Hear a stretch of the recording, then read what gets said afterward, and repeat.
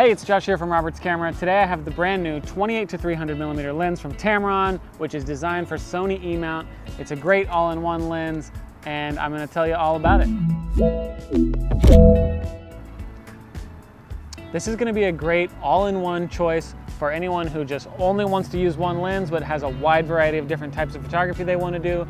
People who are traveling and need to keep their systems light. This is a very small and compact, lightweight lens, especially for what it's giving you.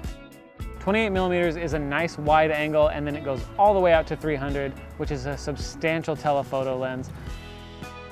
You can use this lens for events, travel photography, wildlife photography, and so much more. And it's gonna be a great lens if you're a hybrid shooter too, if you're doing photos and video because it's gonna be fast to focus, very lightweight. You can balance it on a gimbal.